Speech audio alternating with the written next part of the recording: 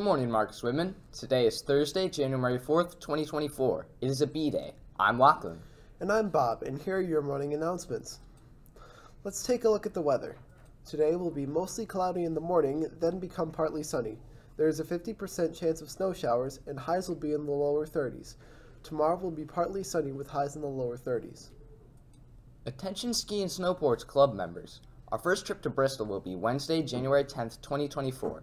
Please bring your equipment in the morning and leave it neatly stacked in the middle school doorway entrance area. This is the middle school door on the BOCES side of the school. Be sure to check out our Ski Club Schoology group for updates and cancellations. Please see Mrs. Alvord or Mrs. Frank with questions. Attention all students. Chromebook support has moved back to the tech office in room 210. Need a spare? Is your Chromebook not working? Head down to room 210 across from the high school office. Educators Rising will meet on January 11th, 2024. We will be planning the skate party for Gorham. Looking for volunteer opportunities, the skate party is a great opportunity to work with Gorham students learning to skate and have a fun time. See Ms. Turco with any questions. Now here's a look at this week's events.